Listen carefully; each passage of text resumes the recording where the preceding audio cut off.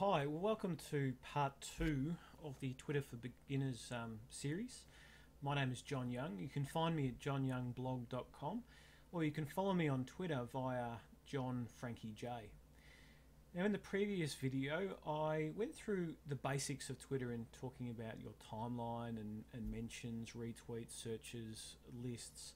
And in this one, I want to talk more about your particular profile and your tweets um, and your favorites um, and who you're following, um, your followers, uh, and more about the lists. Um, so, an extension of what we talked about, plus a little bit more about um, private messages. So to show you how you can do this, I'll show you what what I've done on mine. Now, where I've started here today is the uh, the timeline, the wall. If you want to access your profile or information, you can click on profile. Um, alternatively, if you're back on that page, you can click on your tweets. So that's going to take you to the same same area. So on this page, um, we have the, my picture, my um, uh, logo, if you will, or my or me, um, which comes up in all of my tweets, as you'll see. Um, you have my Twitter handle with my actual name, um, and I've included my location. I'm on the Mornington Peninsula in Victoria, Australia. Uh, plus a, a, brief description um, about me. So, what this is doing is if you click on somebody's profile, you get to read quickly about what that person does, and then it gives you a bit of an insight before you read their tweets um, on who they are. Including a link to your website is very important. Um, if someone wants to find out more information about you, then this is a very handy place, um, you know, for them to then click through.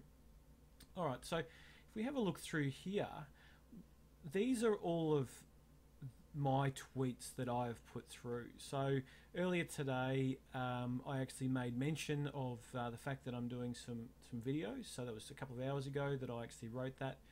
Um, so I'm looking at my timeline of the tweets that I've created, and you could do this for anybody else. You could um, click on somebody else's profile and you could see their tweets. So in here, it gives you the time of when it was done. This is um, this is a handy link when you um, when you see a post and you want to just save that just that content of that post or direct someone to that post, you can click on that time when it was created, and it will take you into um, just into that direct message. And if you see up the top, you can highlight and then copy that message. Then what you can do is you can share that with other people. So rather than saying go and check out John Frankie J's timeline, he mentioned something about um, having a busy afternoon making videos. You can link directly to that post. So if we go back to that, all, all I did there was um, on the actual specific post, I clicked on the time, that left hand um, down the bottom underneath the post. And you can do the same with the other ones. So once you click on that time, it actually gives you um, you know a direct link to that um, to that tweet, and then you can just go off and use that. Um, you know, let's say for instance somebody someone famous has made a tweet that you think is worthwhile um, using in your um, in your blog post. Then what you could do is copy that link and put that in your blog post so that what you're doing is you're linking directly to that status update. You're linking directly to what that person has said. Um, it, here is my favorites. So when we talk about favorites, we talk about um, a tweet that I have seen that I think is worth saving for future. So on June 29th, um, again, if I click on that link, you can actually go directly to that um, to that uh, post. Uh, I actually hit the favorite button.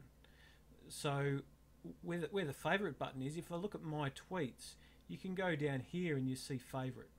So if you see something and think, I really like that post, maybe it's um, it's a post to uh, interesting information. Um, so this one here by Trevor, um, I, I, thought was excellent because it's linking directly to nine companies doing social media right and why. So for me, I refer back to that and I have a look at what those companies have done and um, I always want to come back to that tweet so that i am sort of storing that as a bookmark. So you can favorite tweets, and if you want to unfavorite them, you just click on the unfavorite. Uh, you can then also retweet. Again, in the previous video, I mentioned about retweeting. So all you're doing is you're resending that tweet to your followers, uh, or you can reply to that message if you like. You can extend that message out um, and, and blow it out there, and you can find out more information. You can see where it's come from. It was via Facebook. Um, I have favoured it. You can also see with that um, that you know corner, that star in the corner, that means I've favoured it. Um, if you look at my following, here is um, here is all the people that I have chosen to follow, and uh, I've found these people in various ways. I've either gone to their website and I've seen that there's a follow button. I've either looked for them directly on Twitter. I found a Twitter list and decided to follow them. And I'll explain more about how to follow it in a future video. But these are all the people that I follow, and it gives me the choice. To, if I click on this, I'll unfollow this person.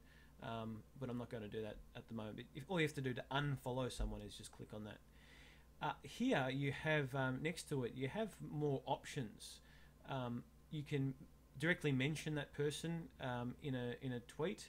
Um, this is good for new followers that you find um, or new people that you choose to follow, because when you follow people, it's always good to mention them. Um, maybe you mention them in a post, reply to something, uh, a, me- a message that they've created. In doing that, what you're actually doing is creating some engagement straight away. So rather than just following them, what you're doing is acknowledging them, you've seen a post, replying to it, or you're making mention to them and providing some value. That's the aim. Provide some value to them. Don't just mention people for the sake of mentioning them.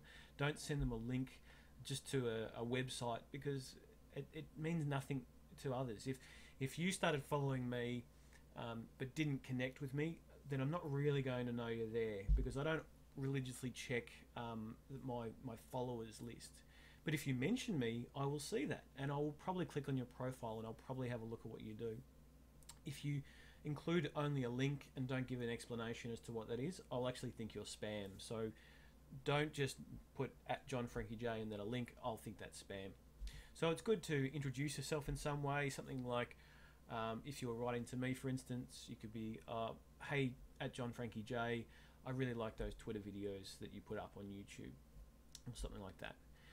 Adding to the list is when you've already created a list, and uh, I'll explain how to do this in a minute, but when you've actually created a list, you can add people to those lists. You go in to each person, or you know, through your list here, you open up that menu. I'll just quickly do that again. So you open up that drop down and add to list, and then you select the list that you have created that you want to add those to. So um, PB event is the ProBlogger event in uh, October 2011 and anyone that I uh, am following that is attending that list, I can add to, um, to that list. Um, also in this drop down here, I could block Peter Kim.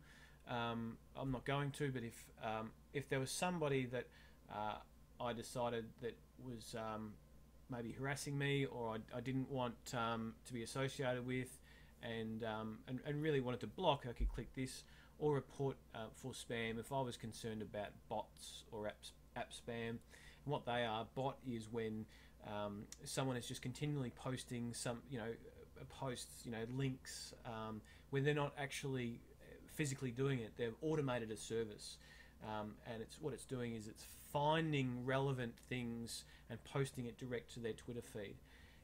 There's quite a lot of bots um, around to me, they don't show real engagement because social media is about being social. I think if you're going to do it, have a limited amount, um, but let people know that you're going to do that as well. And I can explain more of this in, uh, in an upcoming video. Um, so if I wanted, I could report for spam. Uh, if enough people report for spam, then um, that person would get blocked by Twitter. Now, if you look at the tweets button, what this is is all the people that I'm following, these are their tweets. Now this is really handy if you actually look up somebody else's profile, then rather than um, you going along and, and following each and every person to see what their tweets are, you can click on the tweet stream. So let's say, for instance, okay, if I go into styling you and I open up that person's full profile, then I can go in and see um, who their uh, the view the, the following timeline. So you go into the um, following timeline, and I'll actually see all the tweets um, from the people that Styling You is following. So essentially, I'm looking at her wall or her timeline. Um, you can do that with anybody you like. You might see something that you like and decide, well, that's you know that's what I want to do, and um, uh, or sorry, that's who I want to follow from those people, and you can make a selection from there. So you've got the list that you- you've created. Um, I did it. I have mentioned these briefly. If you want to create your own list, you can have, have as many lists as you like, and you can you know name it, uh, and then put it. It's good to have a, a, description, uh, and then you choose if it's public or private. If you look at the PB event list, um, I've named it PB event 2011. Then I've put a short description, attendees of the ProBlogger event, uh, ProBlogger Training Day 2011, and then a link to the actual um, to the site. Um, so um, the next thing I want to just touch on is messages. Now, messages, um, you've got direct messages. So this is separate to mentions. So if you look at, I'll quickly go back to mentions. Mentions are in the public space when someone mentions you publicly. Um, so I can see that post, and so can um, the person who wrote it, their followers. Um, uh, or anyone that searches on um, my Twitter handle. If you go into search and type John Frankie J, then it would show uh, everyone that's mentioned me. So a mention, which is the at followed by the handle, is a public thing. A direct message is the private messages that you go between people. So if you look at this, I could send a private message, and this is just Twit Cleaner. This is just a, a service that I use to um, just check feeds or check tweets and make sure that um, the people that I'm following are worthwhile following. Um, and what I could do is these are private conversations that um, that that happen, you, but they can only happen with the people where you've got a reciprocal follow. So if I'm following you, you need to be following me so that we can direct message each other. You cannot send a direct message to somebody who um, you're not following, or if they're not following you back, uh, you also so you've got to have that link there to be able to, to do that. All right, look, if you've got any questions about um, you know this what I've talked about today, I'd love to hear them, uh, and just ask them in the comments section below. I also request that you sign up for my newsletter via johnyoungblog.com, and that way you'll gain access to all the latest content and more videos and tutorials like this, and you'll be the first to hear about them. Uh, also, if you'd like to follow me, my Twitter handle is johnfrankiej. Um, you can also ask me any questions you like on there. Okay, thanks for watching, and we'll see you on the uh, on part three in a second.